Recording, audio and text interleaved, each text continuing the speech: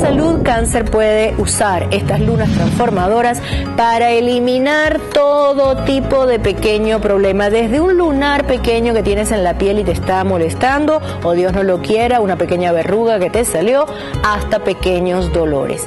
Esta es una luna muy transformadora de las pequeñas cosas, y las pequeñas cosas nos pueden hacer la vida feliz o la vida un cuadrito esa gotica en casa de un grifo que está cayendo, esta es la luna para transformarlo y arreglarlo definitivamente. Esa pequeña deuda que te tiene atosigado todos los meses es una tosigue, pues esta es la luna para transformar ese pequeño incordio que a veces se presenta en la vida.